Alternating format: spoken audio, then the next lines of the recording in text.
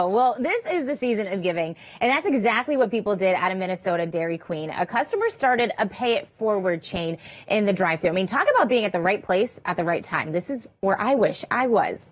They uh, went through the drive thru paying for his meal and for the car behind him. This continued for two and a half days. Yes, two and a half days with each person paying for some portion of the meal behind them. It ended with over 900 strangers buying each other food. Now, I'm from New Jersey, and I don't know if this chain would have lasted that long there. The general manager of the Dairy Queen told the Washington Post she was touched to see so many people participated.